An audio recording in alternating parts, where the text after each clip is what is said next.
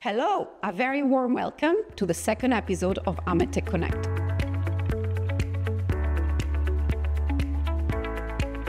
This episode is about Zygo. Zygo is a global leader of high-end precision optical solutions. We will connect with Jennifer Hallberg. She's the leader of the business unit, and she will take us through the amazing journey of breakthrough innovation that Zygo contributed to in the last 50 years. Jennifer, the floor is yours. Thanks, Emanuela. Uh, we're here at Zygo in Middlefield, Connecticut.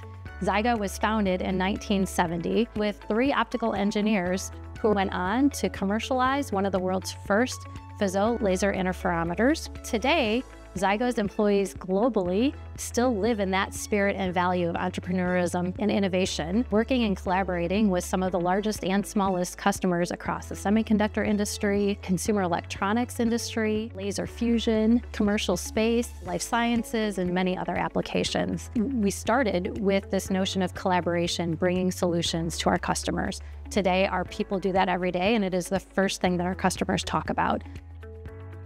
The innovations that Zygo has brought into the optics world is really scaling the manufacturing of large precision components. We take precision and metrology and put them together, right? So anything that we can measure, we can make.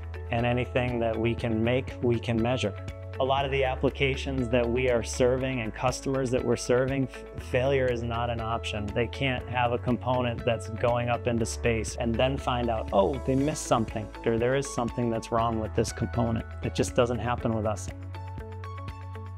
So laser interferometers are essentially a precision measurement device.